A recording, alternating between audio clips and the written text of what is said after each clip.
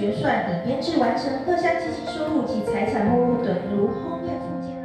台湾是一个充满人情味的国家，热爱平等，热爱公益。而在台南，有一位热心助人、愿意付出的宋俊明，在个人事业与社团事务相当繁忙下，人气及人缘相当好的他，获得多数商界人士的支持，当选台南市商会第二十九届理事长。接下了理事长一职后，责任也更加重大，未来将与全体理监事共同努力，引领商界带向新的契机。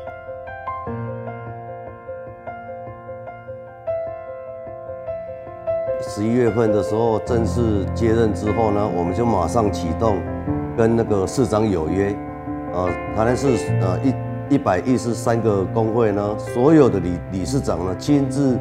呃跟我们市长那个直接面对面哦，就我们商业会来启动这安排哦，他们面临这个疫情当中有每个行业所面临的困境，针对他们所面临的问题来解决，协助百工百业能够度过这疫情当中的难关以外。哦，然后也可以来做一些更多的一些公益的活动，哦，扩展一些就是能做的、能服务大众、服务社会，哦，来协助他们。在我的眼中呢，我们理事长是一个非常热情、热情、爱心，对社会呢有责任，对商会呢非常负责，对百工百业呢想的事情无微不至，一心一意想要让百工百业这些有什么困难呢？大家。一起来帮忙这些基层工会，你全心全力来协助我，我们来把商会的事情来服务这个社，把社社会这个商会的工作做得更完美。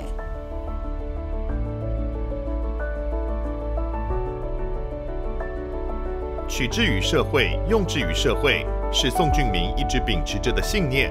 事业有成的宋俊明不忘回馈社会，他从多年前担任国际狮子会成员，到担任专区主席。就被安排去监狱慰问，被法务部更生保护会聘为更生保护会台南分会主任委员后，更积极辅导更生人就业，协助更生人重返社会，改善生活。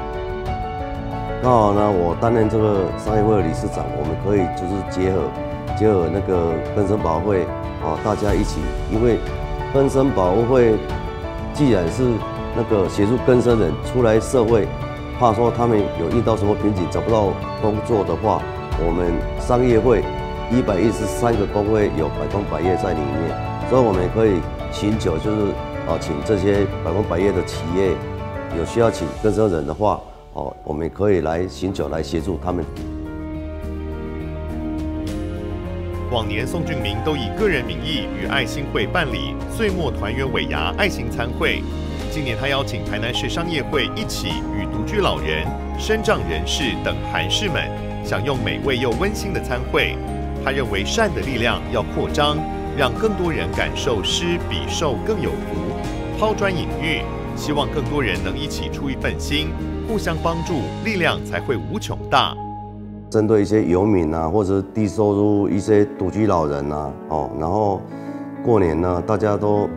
每每个家庭都开开心心吃团圆饭呐，然后针对这区块的人哦，就是感觉到说社会上也有很多单，还有还有很多的单位在关心着他们哦。这个是我们商会呢跟那个